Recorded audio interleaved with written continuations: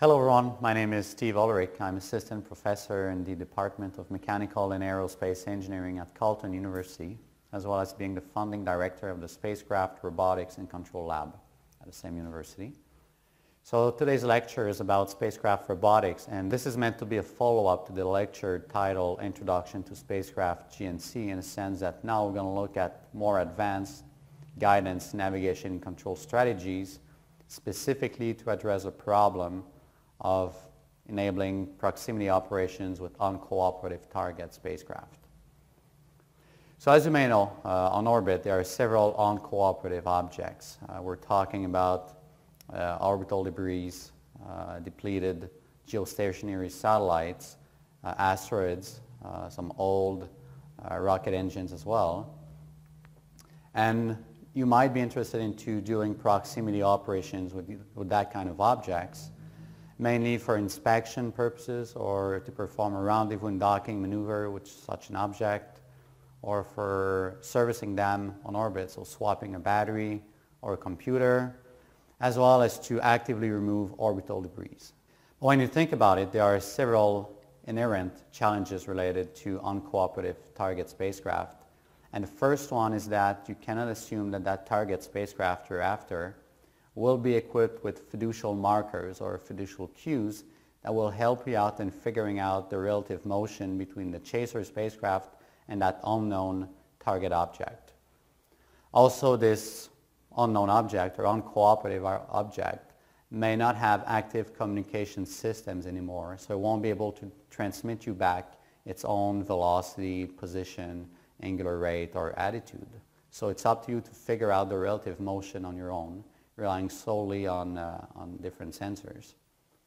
Also, their geometry might be slightly unknown in the sense that they might have been damaged uh, since the time they were launched in orbit. Or, for example, one of the solar arrays might not be deployed correctly. So the geometry or configuration of that uncooperative target object might be slightly unknown. And additionally, it's known that objects in space can tumble in a very uncontrollable manner at very high angular rate. We're talking here up to maybe 30 or 40 RPM, so rotation per minute. So to tackle that kind of problems, uh, we really need advanced spacecraft technologies or advanced guidance, navigation, and control technologies, specifically in the area of machine vision, that will solve the problem of identifying or estimating the relative motion between an active chaser and that uncooperative unknown target object. We also need some autonomous path planning capability that will specify the desired trajectory leading the chaser spacecraft up to that target object that is unknown because you may want to avoid any collision with the solar arrays of that object or things like that. So you have to be careful about planning a feasible path an autonomous path that will lead, lead you from where you are to where you want to go in the, in the vicinity of that unknown object. Additionally, if you think about a servicer a spacecraft that is equipped with a robotic arm uh, that's handling uh, some components of that target object, that implies that the mass of the servicer spacecraft will change, that it's picking up uh, a battery or an onboard computer of that target object with the consequence that the relative motion control is more difficult than what it is typically because now you're dealing with a servicer spacecraft whose mass is changing as function of time. So you have lots of uncertainties of, uh, on your own mass properties. So you need good trajectory tracking solutions to address that kind of problem. So when I was a postdoctoral associate at the MIT Space Systems Lab in Cambridge, Massachusetts, I use the Spheres facility to experimentally validate some of those technologies I just talked about. And namely, I used the synchronized position, hold, engage, and reorient experimental satellites facility, or Spheres. So that's a facility that was established back in the early 2000s by MIT in partnership with NASA, DARPA, and Aurora Flight Sciences, which is a small company located across the street from MIT that specializes in flight hardware. So the whole idea behind Spheres is that it enables experimental research in the area of autonomous GNC or spacecraft robotic technologies uh, to enable complex space missions such as rendezvous and docking, formation flying, uh, and also to investigate machine vision techniques to specifically address the problem of uncooperative target spacecraft. So the Spheres facility is physically located on ISS inside the Japanese Experiment Module, JEM. So that's a very unique experimental facility in the sense that it is in a microgravity environment, obviously. And it also provides uh, the capability to validate those advanced GNC techniques in a six degrees of freedom environment. And the way we do that is that we have three nanosatellite size uh, objects, so about the size of a bowling ball. We call them red, blue, and yellow for ease of identification and they maneuver around in a controlled volume in the Japanese experiment module by using compressed CO2.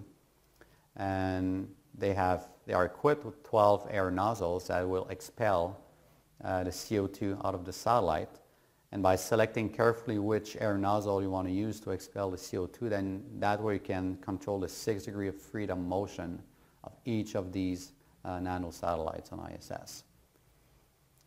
In terms of computing power, they don't have much, uh, but that is typical of actual satellites. So what they have on board is a Texas Instrument Digital Signal Processor, DSP, that can be directly programmed by the engineers or the researchers using C code. Uh, that runs at 167 megahertz, so very low-key computing capabilities again, but that is very realistic for actual spacecraft, so that's good. And they also have 16 megabytes of RAM available. And whenever one of these nanosatellites wants to figure out its full relatives or its full state vector, meaning it wants to know its actual position, velocity, orientation or attitude, as well as angular velocity with respect to the control volume inside the Japanese experiment module, while the satellite would emit an infrared flash. And that would be received by the ultrasound beacons that are located at known locations inside the test volume. So these beacons, we have five of them. After receiving the infrared flash, they would emit one at a time an ultrasonic signal that will be picked up by the microphones located on the sphere satellites.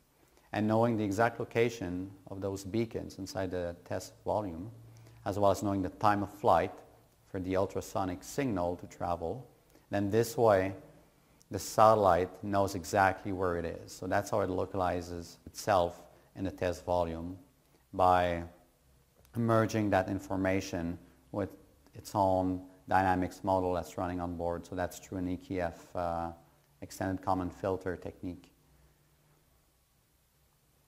All right, so this talk I'm going to go over the computer vision techniques that I worked on in the past little while to address the problem of figuring out the relative motion between a chaser spacecraft and a piece of debris or a non-cooperative target object.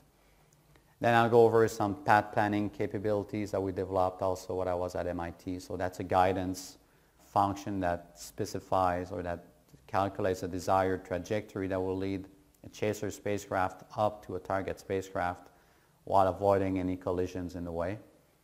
Then I'll talk a little bit about two capture strategies that we are working on at Carleton University in my lab. One of which is using a robotic arm. The other one is using tethers to stabilize the rotational motion of that target object. And finally, I'll give you an overview of some trajectory tracking uh, controller that I developed and specifically adaptive controllers that will control the relative motion between a chaser spacecraft and a target spacecraft regardless of any uncertainties inherent to uh, uncooperative target spacecraft uh, maneuvers. All right, so let's talk about computer vision. So the problem again here that we're trying to solve is how to determine the relative motion or the relative state vector between a chaser vehicle and a target vehicle. When I say relative state vector, I mean the relative position, relative linear velocity, relative orientation, as well as relative uh, angular velocity between the two vehicles. Computer vision in space has been extensively tested on several missions, namely during the uh, construction of the International Space Station.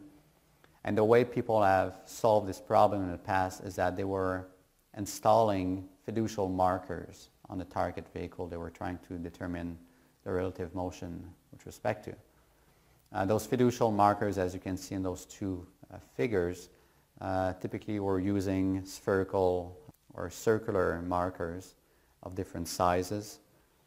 And this way, using different sensors on the chaser side, so cameras most of the time, and by knowing exactly the positions of those markers on the target vehicle a priori, then the chaser vehicle can determine really easily the relative state vector between itself and uh, those dots or those uh, circular patterns on a target vehicle. Unfortunately, with uncooperative target spacecraft, we don't have those nice fiducial markers that, will, that were installed on it uh, before launching in the, the target vehicle. So we're going after, again, a target object that we don't know much about. So for sure there's no fiducial cues that we can go after to determine the relative motion. So we have to come up with some clever ways of solving the relative motion estimation problem. And at MIT, to tackle this problem, uh, they developed the Vertigo program to specifically investigate advanced machine vision techniques to determine the relative motion between a chaser spacecraft equipped with a pair of stereo grayscale cameras in that case and a target object. So the way we did it was first to install those cameras uh, on one of the Sphere satellites and say that that was our chaser spacecraft and just use another one of these Sphere satellites and pretend that that was the target object. So the movie clip I'm about to show here will uh, illustrate the, the first results we got in space of using computer vision to estimate the relative position and velocity between a chaser satellite and a target object that is not equipped with fiducial markers. So that was a space first. So what you see on the left-hand side is whatever the left camera was seeing in real time. And what you see on the right-hand side is the output of the computer vision software uh, that was meant to calculate very precisely the location of the center of geometry of that object we're looking at. And because we have two cameras, we're able to use uh, triangulation techniques uh, to figure out the distance between the observer or between the chaser spacecraft and that unknown object. So it's the same way humans perceive depth essentially. So we have two eyes looking at the same scene. Uh, so the two eyes provide our brain with a slightly different picture. And by comparing those two pictures, our brain is able to figure out the distance between ourselves and what we're looking at. So the greater the, the offset between the two pictures captured by the eyes, or in that case here, uh, the picture is captured by the cameras, it means that the closer the object is. And if the two images captured are pretty much the same, that implies that that object is further away from you. So all the while we're calculating that relative position and we got the relative velocity by taking a first order difference on that relative position. And then we were regulating the distance using a feedback controller uh, to, uh, I believe that was 0.6 meters throughout the circumnavigation inspection trajectory. So the next step was to this time not only estimate the relative position and velocity between the two vehicles, but also get the relative orientation and the relative angular velocity, as well as reconstructing in real time a 3D model of that object we're looking at for further uh, uh, planning in the mission, if you will, as well as estimating the principal moments of inertia up to uh, a ratio factor, as well as estimating the location of the center of mass. So the way we did it was to have our servicer spacecraft to be uh, standing still with respect to the object we're looking at. And as the object was spinning around about an intermediate axis of rotation at 10 RPM, we're just collecting a lot of pictures for about a minute.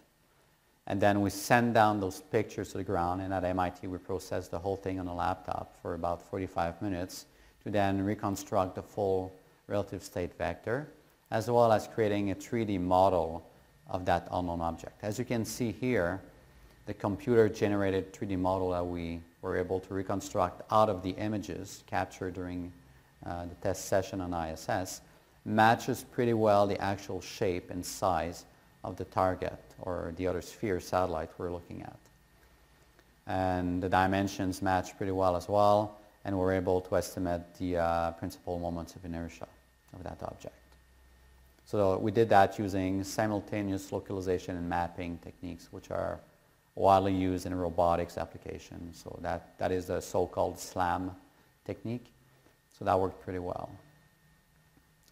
Uh, what we're up to at Carleton in my lab is that we're now pushing that kind of technology uh, further by investigating now instead of using a pair of stereo grayscale camera, we're using a single infrared camera for the simple reason that this way uh, we would be more robust or more independent of the harsh orbital lightning conditions. Because if you think about it, if you have a servicer spacecraft with uh, regular optical cameras trying to track the relative motion between itself and a piece of debris, well, as you may know from orbital mechanics, the lightning conditions significantly change on orbit. So at some time you'll be in full sunlight and at some other time the spacecraft will be in the, uh, in the shadow, uh, implying that you won't be able to get uh, a good estimate of the relative motion throughout the full orbit. So that might be problematic for